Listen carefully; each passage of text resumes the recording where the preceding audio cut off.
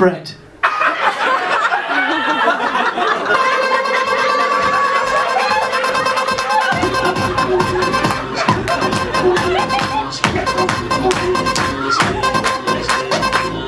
Astrid.